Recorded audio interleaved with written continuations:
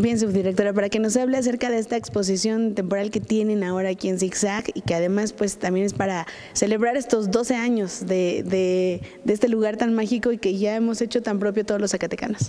Así es, cumplimos 12 años de divulgar eh, la ciencia y la tecnología aquí en Zacatecas y pues para ello armamos una exposición muy muy linda, interactiva, que se llama Ingenia, eh, donde todos los visitantes, todas las edades, van a encontrar algo especial para hacer, para jugar, para aprender.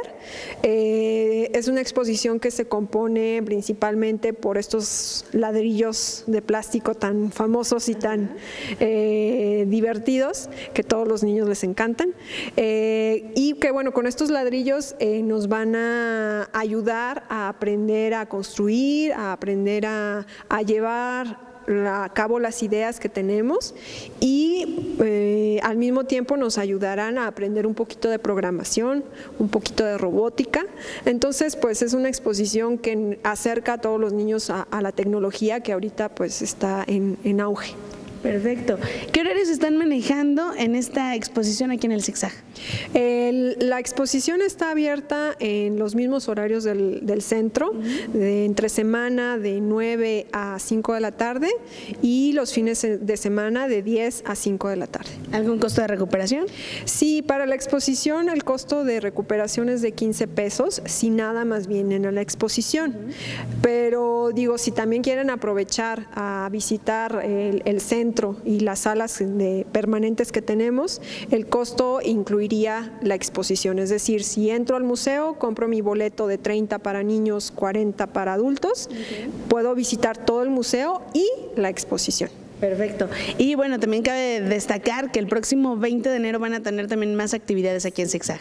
Así es, vamos a echar la casa por la ventana con dos días de, actividades, 20 eh, y 21 de enero. Eh, desde que abrimos el museo hasta las 8 de la noche va a haber algo que hacer aquí en el ZigZag. Desde talleres de ciencia, de arte, de nutrición, matemáticas, física, robótica, eh, en fin, un montón de actividades, obras de teatro también, concierto, la banda municipal de, Guadalupe nos va a acompañar los dos días a las seis de la tarde. Eh, vamos a tener conferencias, dos conferencias muy, muy interesantes de dos niños emprendedores, 15 y 18 años tienen, y que vienen de Guadalajara y que ya están inmersos en, el mundo de las startups, de las empresas.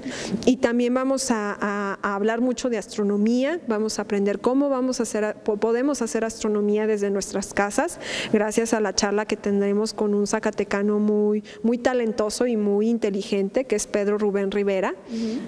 Este, él actualmente es alguien muy reconocido en el mundo de la, de la, astronomía y pues también nos va a dar una charla por la noche a partir de las seis y media de la tarde. Perfecto. Para aquellos que quieren celebrar con ustedes el zigzag, toda esta fiesta de los 12 años, ¿en dónde pueden checar a detalle todo el programa?